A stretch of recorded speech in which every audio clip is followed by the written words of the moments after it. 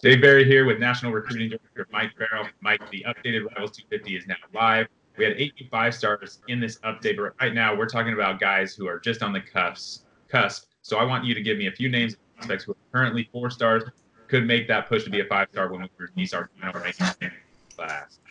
Yeah, it's going to be interesting because 33 is a big number at this stage. Uh, so you know, we've gone as high as 35. I have no problem going higher than 35. We've gone as low as 28, but uh, it's going to be interesting to see if some of these guys on the on the outside can move up. Drew Sanders was discussed, the linebacker uh, out of Texas, the Alabama commitment, in the uh, meetings quite often because he's a tall, long linebacker, can cover a lot of space, do a lot of different things, rush the passer. Uh, six foot five kid at linebacker, very hard to find.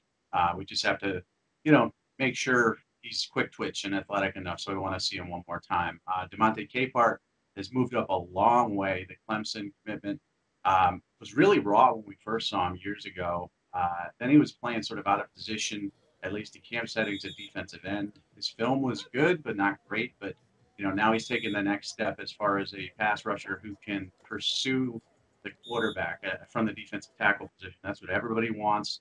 Um, you know, and, and that's what he can bring to the table as well as string things out, run sideline to sideline. Gee Scott Jr. Uh, Oklahoma had three five-star wide receivers last year, setting a Rivals.com record. Gee Scott is pushing to have Ohio State match that in, in the class of 2020. He's an outstanding receiver. You know, always good on the seven-on-seven circuit. Uh, dominates competition in Washington. Just want to see how he does against the best of the best in the final evaluation. And then Harrison Bailey, you know, uh, again, it comes down to a Tennessee quarterback. A few years ago, was Jarrett Guarantano that we were evaluating, but a great Under Armour week, and then really struggled with the game. He held off with the fifth star. and That kind of worked out. He hadn't played nearly as a, as a five star.